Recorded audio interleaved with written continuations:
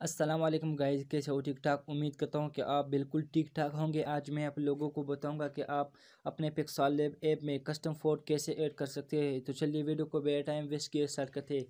Start करने से पहले अगर आपने अभी तक हमारा चैनल सब्सक्राइब नहीं किया तो प्लीज़ चैनल को सब्सक्राइब करें और साथ में जो घंटे निशान है, उसे भी दबाएँ ताकि हमारे हर वीडियो की नोटिफिकेशन आपको टाइम पर मिल सके। तो चलिए वीडियो को स्टार्ट करते हैं।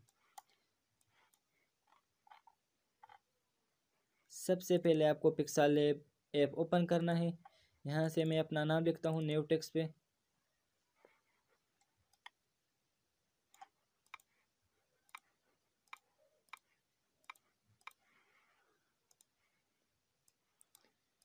आप देख सकते हैं कि मैंने अपना नाम लिख दिया यहाँ पे। तो आपको यहाँ पे ए पे क्लिक करना है। आपको राइट साइड पे जाना है। यहाँ से आपको फ़ोन पे क्लिक करना है। फ़ोन पे क्लिक करने के बाद आपको माई फ़ोन पे क्लिक करना है। यहाँ से आपको इस प्लस के आइकन पे क्लिक करना है। जिस फोल्डर में आपका फ़ॉन्ट है, आपको वही फोल्डर में जाना है।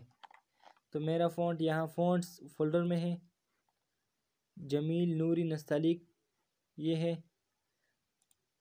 तो मैं इस पर क्लिक करता हूँ। यहाँ से आपको फोल्डर को ओपन करना तो आपको यहाँ से सेलेक्ट करना है।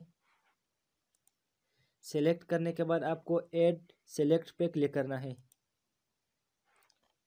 आप देख सकते हैं कि हमारा फ़ोन यहाँ पे ऐड हो चुका है जमील नूरी नस्तालिक तो मैं इस पे क्लिक करता हूँ ओके करता हूँ। यहाँ से आप देख सकते हैं कि हमारा फ़ोन ऐड हो चुका है। आप भी इसी तरह के फ़ोन को ऐड कर सकते हैं। अगर वीडियो अच्छी लगी तो वीडियो को लाइक और चैनल को ज़रूर सब्सक्राइब करें। तो चलिए नेक्स्ट वीडियो में मिलते हैं।